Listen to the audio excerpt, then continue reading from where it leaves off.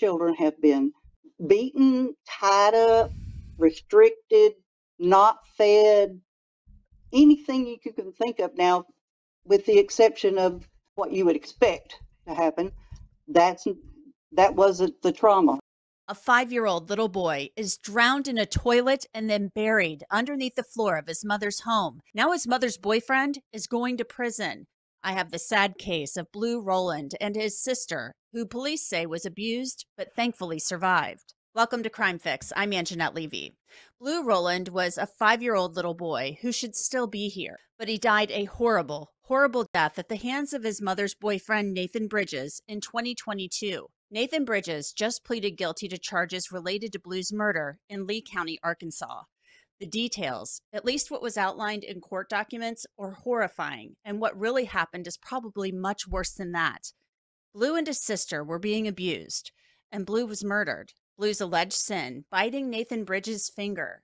Blu's mother also faces charges, and I'll get to that in a moment. But first, I want to outline what detectives claim Ashley Rolland told them about how Blu died. Sheriff's deputies were called to the family's home in December of 2022 after receiving a call from Blu's grandmother, who was also the grandmother of his sister. Ashley Rolland's father was also there and had told police that his daughter told him that Blu was dead inside the home. The affidavit says deputies located where Blu was reported to be and render aid if he was alive. Deputies located where Blu was reported to be and found newly nailed down boards. Deputies removed the board and found disturbed earth underneath. Deputies removed the top layer of earth and found a child's flip flop shoes and a red and blue blanket. Removing the top layer of earth released the pungent odor of decay. Investigators also interviewed Ashley Rolland in December of 2022. An affidavit says Rolland told detectives that Blu died on September 9th of 2022. Blu had angered her boyfriend, Nathan Bridges, by biting his finger when Bridges stuck it in Blu's mouth. Bridges took Blu to the bathroom and, as punishment, repeatedly placed Blu's head in the water filled toilet until he drowned him. Nathan cut a hole in their wooden floor in the living room while Blu was in the bathroom with Bridges. When Bridges exited the bathroom, Rolland entered the bathroom and saw Blu struggling to breathe, and his body was limp. The affidavit continues. Rolland stated that the injuries observed on her daughter were also caused by Bridges when he held her head and upper torso under hot water in the bathtub. Rolland said that her daughter suffered from behavior issues and that Bridges put Taylor in hot water as punishment for her behavior issues. I want to take a moment to tell you about this awesome app that I've tried. It's called Upside, and it's great because it will give you cash back on things that you buy all of the time, like food and gas. Upside gives you real money back that goes straight into your bank account. When I pump gas or order takeout, I always check Upside for the best deals. Why not get cash back when I'm making a purchase? Download Upside, check out the offers, and when you find one, claim it and then pay with your debit or credit card. I got more than five bucks back on a tank of gas and three bucks back on pizza. You can't beat that. To find out how much you could earn, click the link in the description or scan the QR code on your screen. Use the promo code CRIMEFIX to get an extra 25 cents back on every gallon on your first tank of gas. I want to bring in Anita Whidbey. She is a friend of Karen Rowland, who is the grandmother of Blu and his sister. Anita, what is your reaction to this plea agreement that Nathan Bridges agreed to and was given? Uh, my personal opinion is is he should have gotten pretty bad, but I know the state of Arkansas hasn't put anybody to death in a, in a while, so I didn't expect the death penalty, but Karen certainly did. But it was a horrendous act. It's not like he just all of a sudden decided to kill him. This happened months in the making. When you say months in the making, what do you mean? Do you, there was abuse, months of abuse leading up to this? By the time Karen was able to get Taylor for visiting rights, she had been she tried for a year to get them, and Mom kept moving and not letting her have them. And she finally got a piece of paper that says that she could come and get them. And Taylor was in bad shape, and she, they they told her that Blu was at a friend's house. And she said, "Well, you better find him because as soon as I get back from the hospital with her, I'm coming to get Blu." And so when she got Taylor to the local hospital, they obviously saw how, what kind of condition she was in. And they sent, um, so, uh, sheriff's department out to their house and nobody could produce Blu. And he has been, when they did find him buried up under the floorboards of the house that the mother and the live-in was living in, he had been dead three months. And Taylor was probably on the edge. She was malnourished. She had multiple injuries, but and she could she couldn't walk. Her bottom of her feet had blisters on them. Um, it's From it being was burned uh, in the bathtub from the water. uh, these burns may have looked looked more like cigarette burns, but they could have been bath water because her chest was burned with bath water, and that may be one of the reasons why she won't stay in the bathroom by herself. But uh, but then she saw she had she was there when he drowned Blu, so I don't know exactly in what location of the house she was, but they had been mistreated for a while before Karen was able to get them. What do you and Karen want to see happen to Ashley? She's still facing charges. Right, she's still facing. I'm sure Karen wants the book thrown at her. You know, I I am not as tight. I mean, I am like I said, I'm there for Karen more than I am. Taylor has had such an outpouring of love and, and gifts, and people take trying to do see that she has a more pleasant life now. But you know, grandmother still has to take her to all those places, and then she has to deal with what they what happens if it traumatized her afterwards. You know, like why she gave her a big birthday party um, this year because the last two years she wasn't able to do anything for Taylor. The mom wouldn't let her have her for one thing for the birthday before the, the all this happened.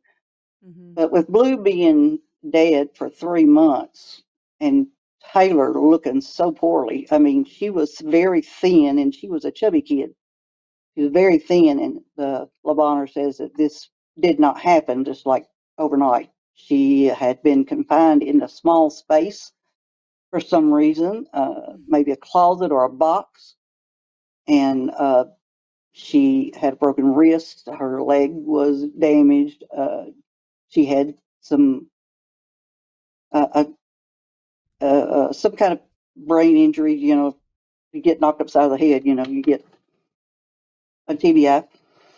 Um, and uh, it was just it's just horrific injuries and the person and the kid's still alive you know and it's still it's maybe crying. Well she wasn't. By the time we got her she had a vacant look in her eyes and she didn't smile and she didn't talk and she jabbers all the time. She talked a lot.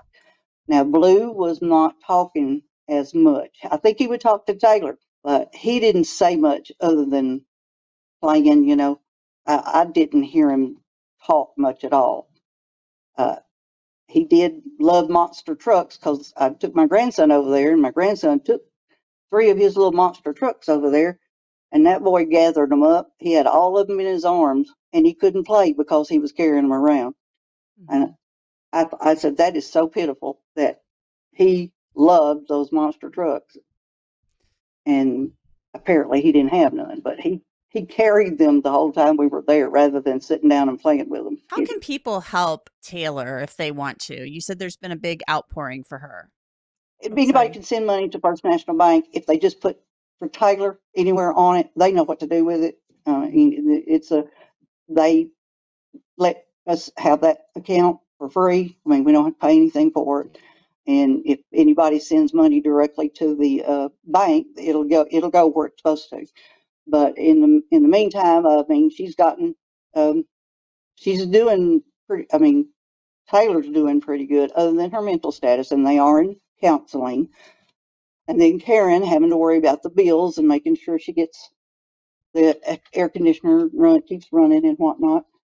But uh, that is the immediate help because there's not an income in the house. It's uh now Taylor wound up getting a little bit, but it's not enough. To, uh, I think 500 or something like that. I don't really remember, but it's not a lot. It's not enough to, you know, buy groceries and pay bills and stuff. So uh, that was that's the immediate need. Um, Taylor is doing well with uh, her clothes and shoes. Karen's making sure she has everything. Her hair has grown out, so now she gets bows and stuff in her hair and ponytail holders. She had no hair when we got her. They had cut it all off. Anita, we really hope that her condition, Taylor's condition, continues to improve. Um, and I'm so sorry for the loss of Blu. It's awful. Thank you so much for joining me. I want to bring in Jonna Spilbor. She's a defense attorney to discuss this awful, awful case. Jonna, you're a defense attorney, so I'm sure you're not surprised that they resolved this case, at least Nathan Bridges' case, through a plea deal. Yeah, he, he must have realized that he was absolutely dead to rights, and there was no point in putting family members or anybody else through a trial because how horrific. Even just reading about this case, Angenette, it gets you right in the gut. I mean, how anybody could be such a monster is I'll tell you what, I'll tell you what, I would have a very tough time. I would probably have to turn this case down no matter even if the defendant came to me and said, I want to throw myself on the sword and, and take a plea, I don't think I could do it. It's it's that bad. Really? So, so as a defense attorney, you're saying this case, I mean, we have little Blu Rolland, a little boy, five year old little boy. Little boys do things like bite fingers if you put your finger in their mouth. Uh, right. Head shoved in a toilet and drowned. His mother, according to law enforcement, was aware of what was going on and did nothing to stop it. Uh, you know, her trial is scheduled to start later this year. Um, but mm-hmm. this is what boys do. They're little boys. They do stuff like this. So you're saying I wouldn't be able to take this case. And you're a defense attorney. You see bad stuff all the time. Uh, yeah, and I've been doing this for 30 years, but this one really gets me uh, viscerally because you know, look, this stuff more often than not doesn't happen in a vacuum, and I think there's some history here as well, um, where you had uh, stuff should have happened to interfere with the way this case seemed to have been going when you have an abusive parental figure. He's not even the person who the defendant here wasn't an actual parent, was the boyfriend of this child. And then you have the mother of this child who I don't know, is she abused as well? Was she is she herself a victim? These are the probably part of the reason why she's going to trial and did not take a plea but it is just so incredibly hard because when you think about a defenseless child being a child and dying in such a horrific fashion and the the fear that must have just befallen this this young boy in his last moments i can't it, it it'll make me well up and i am an ice princess it'll make me well up. It's a very difficult case to analyze and talk about let's talk about mom ashley because let's put her picture up on the screen too because in her mugshot when she was arrested in December of 2022. And she's facing serious charges. I mean, she's facing mm-hmm. capital murder, child abuse charges, uh, a whole slew of charges. She has a big fat black eye. We don't know if Nathan Bridges did that to her, um, but she has a black eye. She has a huge shiner and she got it somehow. So you're thinking it's not just limited to the kids. She could have been abused as well. That's what I'm thinking for a couple of reasons. Not just the shiner, although that is a big clue, but more often than not, when you have the the mother of a child like this, and something like this results where a child dies, you have to ask yourself either the mother is also an abuser or she is being abused. And what I see all the time, and this is what's hard to wrap my mind around, whether I'm in family court with people fighting over custody, people filing family offenses against boyfriends and lovers and husbands and what have you, or whether your uh, your client's on the receiving end of a child protective services report. These things people see. People see some sort of clue that something is going on, and you have these agencies and you have these courthouses that are supposed to come in and help resolve these conflicts before the most serious thing occurs, like the death of a child. And so there's a wide net that you have to look through and call through when these things happen. Not to say that, I mean, I don't know. So I, am assuming whoever is representing the mother of this child is going to be examining all that as well. But it really makes you say to yourself, where are all the other people. Where are the teachers? Where are the family members? Where was the courthouse? Where was CPS? Where are all these people? that that this child could literally slip through the cracks and lose his life. It's very sad. Nathan Bridges, uh, the plea agreement, he got 60 years in prison. Um, but I had spoken briefly with Blu's grandmother, and she wanted a trial. She thought this was going to trial. And then she shows up to court, and there's a plea agreement. And she felt like he should get the death penalty, not 60 years, even though she was told 60 years is going to be basically a death sentence for this guy. Uh, so, what is what are your thoughts on that? The 60 year sentence. In a case like this, I honestly don't think it is long enough. And at the same time, I completely understand when you have a, a victim, a family of a victim who wants a trial. That's that's their way of saying, "I want my day in court. I want a, a, a jury to mete out the punishment. I want that." and I get, and that comes from their heart, and that can be very emotional. If a jury would have handed down the same sentence, then there's no need to put the family members through that again. There's no need to have the resources utilized for that when you can get a defendant to say, "Listen, I, am going to admit everything, and I'm I'm going to take my my lumps."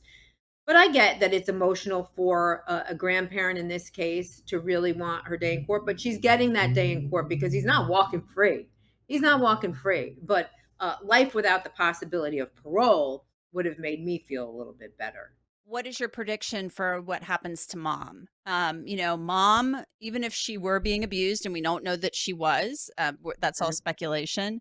Uh, but does mom's case get resolved in a similar fashion? I mean, she's the mother of the child, and she's accused of, I'm going to read off the charges again capital murder, abuse of a corpse, tampering with physical evidence, you know, that would be for burying her son's, or at least being an, a part of burying the son's body under the floorboards, and endangering the welfare of a minor in the first degree, that would be for her daughter. So, does mom get a similar type of plea agreement? Or does mom go to trial? I mean, do you see the prosecutors in this case in Arkansas trying to resolve this case through a plea agreement?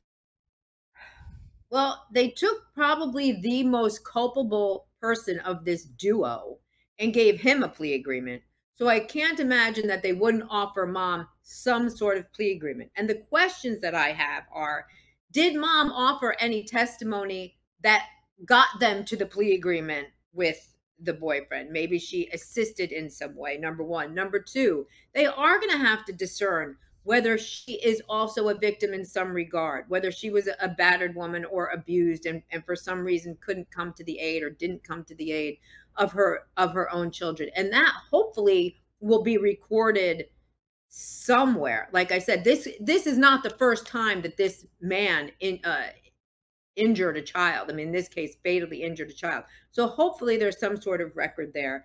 And uh, just in general, I mean, I almost hate to say this, but we tend to have a, some more sympathy for mothers than we do of uh, the male component in cases like this. You know, and look at Casey Anthony went to trial and nothing happened to her, right? So maybe uh, they'll give her some sort of plea deal that will be far less than what this defendant got is what I imagine. Or she's going to mount a full blown defense, Angenette. Maybe she is. Maybe she's going to mount a battered woman defense of some sort, which will require expert testimony and, and a history and all that. I guess that's yet yet to be seen. But it, neither one of those things would surprise me. A lesser plea deal or a full blown defense, neither one would surprise me. Well, it certainly is just unbelievable uh, the way that people who have children um, allow them to be treated or the way that people treat children. Um, you know, kids can be frustrating. I mean, somebody bites you on the finger, I'm sure that could hurt. Uh, but maybe you shouldn't be sticking your finger into a child's mouth in the first place. That's what they do. This is what things that kids do. Um, so that poor sweet child, I, I just, I can't, just can't believe it. And um, it's just absolutely mind boggling the way that people treat children. Can I say one other, can I say yes. one other thing to that point? The way that people, so in, in real life, uh, you know, these things happen. But like for example, I have a case right now. Three children are involved. The mother has chosen the, the parents are separated. The mother moved in with a felon, but not just any felon. This man served 14 years in prison for nearly killing somebody, got out, is off parole, and that's who this mother is choosing to now spend her life with. So the father of the children is fighting having the children be anywhere near this person. So it's like the decisions that you make as an adult when you're a parent trickle down and they are going to affect your children and you have to be careful with that and you have to ultimately protect them beyond any other decision that you make. And this is where the courts again and the courts are involved in this which way will the court come down will the court say well uh, you know the mother's there it's fine or will the court say no we are going to we're going to step in and keep these kids away from mother's choice it it is amazingly complicated and the courts have so many cases like this Angenette so many cases on varying degrees that they sometimes can't give the attention that is due to each and every one of them Yeah, it's it's a problem. It's a problem. Jonna Spilbor, thank you so much. Appreciate it as always. Thank you same here And that's it for this episode of Crime Fix. I'm Angenette Levy. Thanks so much for being with me. I'll see you back here next time.